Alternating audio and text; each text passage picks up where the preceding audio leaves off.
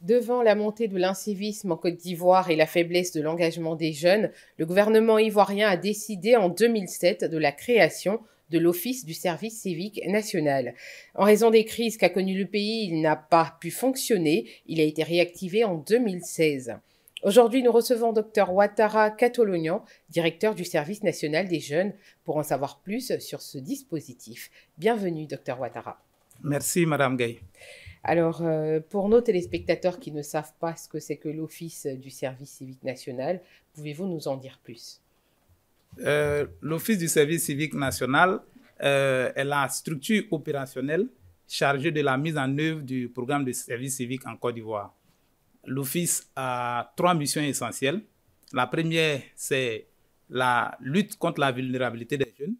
La seconde mission est relative à la promotion euh, de l'engagement citoyen. Et la dernière mission est relative au renforcement du comportement civique et citoyen des jeunes. Alors certaines personnes euh, pensent que votre organisme euh, est un dispositif répressif ou de redressement. Est-ce que c'est le cas? Pas du tout.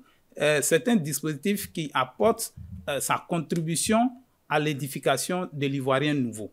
C'est un dispositif de service civique qui a pour objet d'œuvrer à l'épanouissement social de l'individu. Et donc, ce n'est pas un dispositif répressif. Au contraire, c'est un dispositif qui, en certains pans, euh, rentre dans le cadre de ce que nous appelons le code de la seconde chance. Faire en sorte que des jeunes vulnérables qui n'ont pas euh, eu l'opportunité de continuer leurs études, des jeunes qui sont en proie à l'incivisme, puissent, dans le cadre d'une seconde chance, puissent bénéficier euh, d'une formation civique et citoyenne pour pouvoir se être resocialisés et euh, avoir une place dans la société. Alors, c'est donc une mission très importante. Tout à fait. Et qui comporte donc en son sein des outils de formation essentiels. On va donc s'intéresser au parcours citoyen aujourd'hui, c'est bien ça? C'est bien ça. Qui a été initié en 2023. Oui, le parcours citoyen. Donc, en quoi consiste-t-il et quel est l'objectif euh, principal de ce parcours?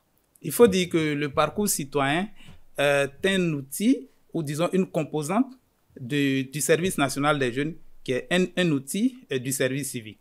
Alors, euh, le parcours citoyen, c'est cet outil de service civique-là qui est spécialement mis en place pour les écoles. Très bien. Et euh, donc, quels sont les principaux programmes de cette formation-là? Alors, avant de parler des, programmes, permettez-moi de parler des critères euh, quelle est la cible? Voilà, euh, que nous traitons dans le cadre du parcours citoyen.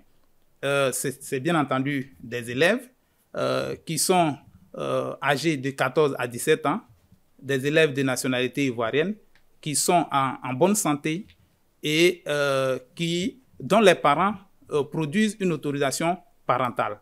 Et c'est des élèves également qui doivent être issus d'un établissement d'enseignement scolaire.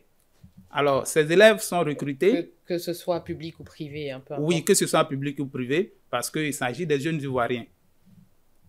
Alors, euh, c'est des élèves qui sont recrutés euh, dans le cadre d'un partenariat que nous avons avec le ministère de l'Éducation nationale et de l'alphabétisation.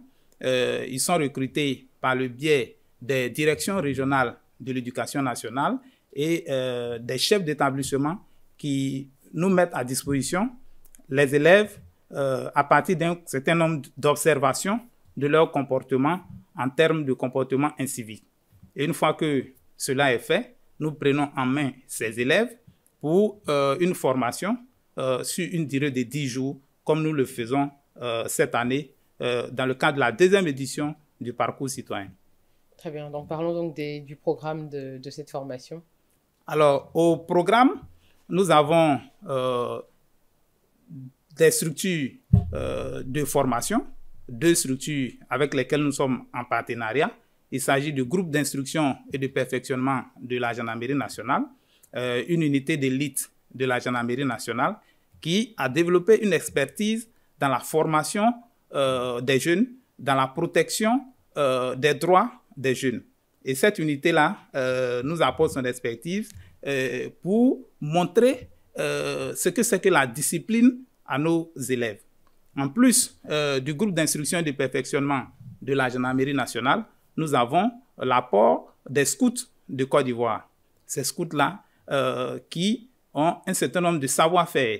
Vous convenez avec moi que le scoutisme, c'est une école de vie. Mhm. Donc, il y a un mix de savoir entre la gendarmerie nationale et le scoutisme pour amener nos élèves à comprendre le bien fondé du respect des symboles de la République, des institutions de l'État, euh, du respect de l'autorité parentale, de l'autorité euh, à l'école, à travers un ensemble de modules que je citerai entre autres.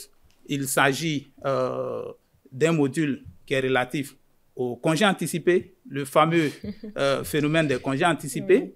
Nous avons des thématiques qui portent sur les violences juvéniles, l'immigration clandestine, euh, les fake news, la saine utilisation des réseaux sociaux, oui, euh, l'initiation au sécurisme, etc., etc. Très bien. Alors, comment ça se déroule concrètement, la participation sur le terrain? Alors, euh, sur le terrain, nous avons un programme d'activité qui part du réveil le matin, parce que si nous voulons construire des modèles de conduite enviés par la société tout entière, il faut montrer à nos jeunes élèves euh, qui sont dans la tranche de 14 à 17 ans euh, la nécessité de pouvoir se réveiller assez tôt le matin. Donc, ça part du réveil. appartient à ceux qui se lèvent tôt. Tout à fait. Du réveil matinal. Après le réveil matinal, euh, nous avons des activités sportives. Après ces activités sportives-là, il y a une répartition de ces élèves-là en des sous-groupes voilà, euh, et l'encadrement se fait de façon euh, participative, en focus group, pour euh, permettre aux bénéficiaires de bien assimiler le bien fondé du respect des règles civiques et citoyennes. Très bien. Alors, comment sont valorisés ces bénéficiaires-là à la fin de leur formation? À la fin de leur formation, ces bénéficiaires bénéficient d'une attestation de fin de formation qui est appelé à équivaloir euh, au certificat de position militaire. Euh, c'est un document qui est euh, très souvent demandé à l'occasion des concours d'accès à la fonction publique. Alors, tous ces élèves, tous ceux qui rentrent de façon générale, ou tous ceux qui bénéficient du service civique en Côte d'Ivoire, au terme de la nouvelle loi de 2023 euh, modifiant la loi de 2019 euh, instituant le service civique en Côte d'Ivoire, alors tous les bénéficiaires du service civique euh, pourront valoriser leurs attestations de fin de formation comme des attestations de service civique. Très bien. Alors avant de continuer, je souligne que la phase pilote du parcours citoyen s'est déroulée du 10 au 20 avril 2023 dans les centres de services civiques de Bimbresso, Boaké 1 et Guédicbo à Sassandra avec des centaines d'élèves issus des établissements scolaires de Dabou, Boaké et Sassandra. C'est bien ça. Alors pour cette année 2024, euh, combien d'élèves ont été ciblés et comment s'est fait leur recrutement? Alors pour cette année 2024, euh, euh, c'est 500 élèves qui sont ciblés et ces élèves-là seront répartis sur deux sites de formation euh, le premier euh, groupe sera formé au CAFOP de Dabou. Il s'agit de 150 élèves, euh, filles et garçons. Et le second groupe, simultanément formé au lycée moderne jeunes filles de Boaké. Très bien. Alors, notre émission tire à sa fin. Quel est l'avantage pour les jeunes élèves de participer à ce parcours civique? On va terminer sur ça. Alors, l'avantage, il est euh, important pour ces élèves-là euh, parce que c'est une opportunité que l'État de Côte d'Ivoire leur offre pour pouvoir euh, bénéficier d'un séjour éducatif axé sur le service civique.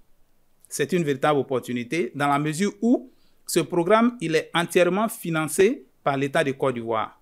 Il est gratuit en termes de logement, en termes de soins de santé, en termes de, de nourriture sur une période de 10 jours.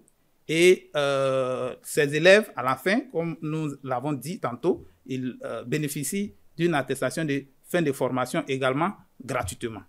qui, leur sera, qui leur servira pour, pour dans le futur, quand ils auront besoin de passer des concours, comme vous avez dit, par exemple pour la fonction publique. Tout à fait. Très bien. Alors, un mot pour la fin, monsieur, docteur Ouattara. le mot de fin, c'est véritablement un appel que je voudrais lancer euh, au nom de Monsieur le ministre de la Promotion de la Jeunesse, de l'Insertion professionnelle et du service civique, mais également au nom de Madame la ministre de l'Éducation nationale, euh, nos deux euh, ministres de tutelle qui travaillent de concert pour nous permettre de mettre en œuvre ce programme important pour les élèves de Côte d'Ivoire.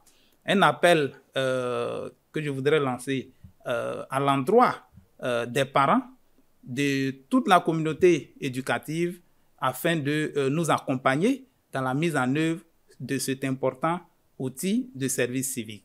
Un appel aux parents, pourquoi? Parce que les parents sont les premiers responsables des élèves que nous encadrons.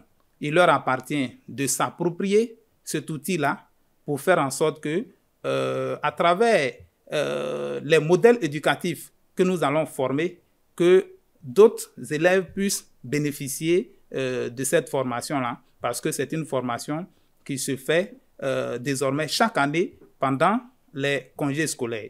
Et dans le cadre du vaste programme de construction des centres de services civiques, il y a 14 euh, centres de services civiques qui seront construits sur toute l'étendue du territoire national et tout le territoire national sera couvert par ce programme de services civiques. Et je voudrais indiquer également que le service national des jeunes même rentre dans le cadre du programme jeunesse du gouvernement 2023-2025. Donc, à terme, c'est 25 000 jeunes qui sont ciblés euh, par la formation dans le cadre du service national des jeunes, y compris le parcours citoyen. Merci beaucoup, docteur Ouattara, d'être passé sur ce plateau. C'est moi qui vous remercie. Je rappelle que nous étions en compagnie du directeur du service national des jeunes, le docteur Ouattara Catolognan. Nous retenons que ce dispositif est mis en place pour éduquer les jeunes au civisme et à la citoyenneté afin d'en faire des Ivoiriens nouveaux permettre aux jeunes de 14 à 17 ans d'être des modèles de comportement enviés par la société. Merci encore de nous avoir suivis. L'information continue sur cette info et sur www.cetinfo.ci.